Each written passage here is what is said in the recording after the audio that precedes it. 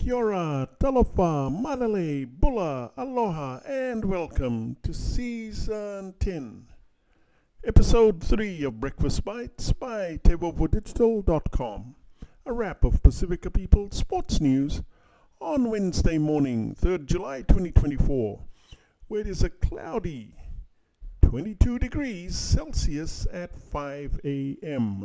Coming to you with Tans Vanisi from the 180th meridian in the middle of the blue continent. In rugby union, the British women's rugby sevens team has been slammed by feminists, led by women's tennis legend Martina Navratilova and fellow British Olympic team members to Paris for posing in lingerie. In Rugby League, NRL games tomorrow. Parramatta Eels vs South Sydney Rabbitohs at 7.50pm Australian Eastern Standard Time at CommBank Stadium. On Friday, Cronulla Sharks vs Gold Coast Titans at 6pm in Coffs Harbour and the Brisbane Broncos vs the Penrith Panthers at 8pm at Suncorp Stadium. And in football, Euro 2024 results this morning. Netherlands 3-0 over Romania and the big upset, Turkey 2-1 over Austria. So, Switzerland, Germany, England, Spain, France and Portugal already into the quarters, now joined by Netherlands and Turkey. In sports biz, J- July 1 every year marks the payment of serious money in ongoing salary deferrals for several former MLB stars, including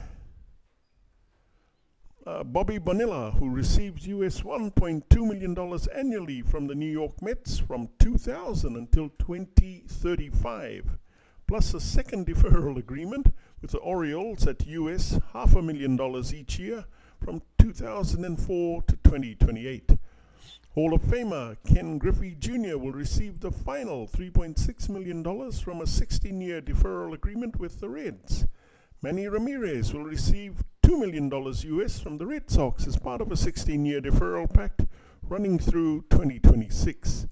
And Chris Davis will receive US 9.1 million from the Orioles as part of deferrals contained within his prior 161 million US dollars contract. According to Spotrac, Davis has another US $40 million due from the team between now and 2037. Some of these payments are well in excess of the 2024 salaries of many current MLB stars. Many more deferral payments are forthcoming from current contracts, which provide short-term financial fl- flexibility for teams and longer-term security for players.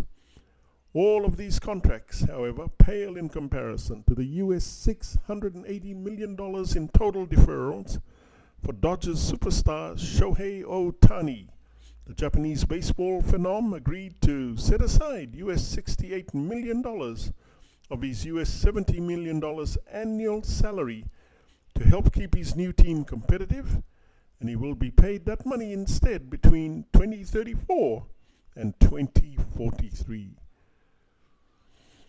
At Wimbledon, Andy Murray has withdrawn from Wimbledon due to an ongoing back injury. His game was uh, scheduled to uh, yesterday evening the latest possible slot on centre court to give the British tennis star a chance of faking it, but it was not to be. Meanwhile, number two seed Novak Djokovic pulled off a miraculous return, defeating Vit Kopriva 6-1, 6-2, 6-2 in his first match since undergoing surgery on his right knee. In the Paris Olympic Games, American teenage sprint sensation Quincy Wilson is set to become the youngest ever U.S. male track Olympian after the 16-year-old has reportedly been picked in the 4x400 meter relay team for the Olympic Games in Paris. Wilson's selection comes after a brilliant debut at the U.S. Olympic trials last week, where he twice broke the under 18 400 meters world record of 44.59 seconds in the semifinals on Sunday, and two days later, after he initially broke the record with a time of 4.66 seconds.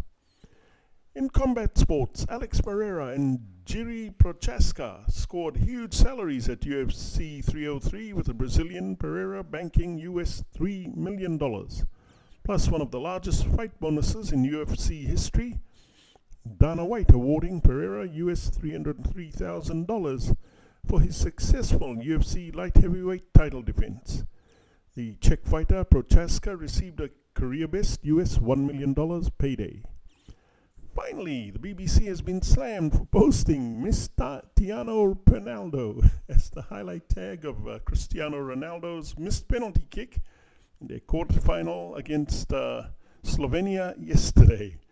Mistiano Penaldo. That's hilarious. And that's a wrap, peeps. Please hit the like and subscribe buttons below. If you want to receive more Pasifika sports highlights on Breakfast Bites. Mahalo and kakite for TeivovoDigital.com. I'm Carlton Kamea, thanking you all too much for all your love and support.